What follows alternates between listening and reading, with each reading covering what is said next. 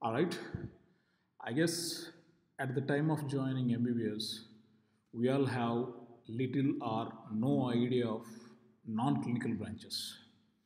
Everybody might have thought of becoming a clinician, a neurologist, an orthopedician, or a cardiothoracic surgeon, etc., etc.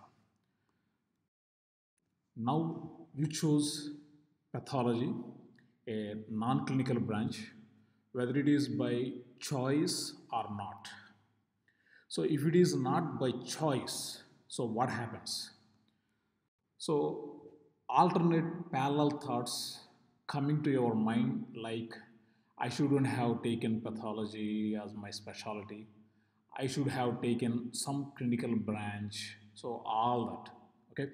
So, with all these parallel thoughts, it will be very difficult for you to focus on pathology. So, for that, you have to realize few things. So, the very important one is accept that clinical branches are very superior to non clinical branches for various reasons. And secondly, for the survival of medicine, each and every branch is important, be it non clinical or clinical.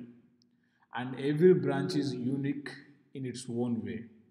And then the third point is in life, most of the decisions we made out of the options available for us at that particular point of time okay so the time period is very very important okay so once you realize these things then you can focus and you can master pathology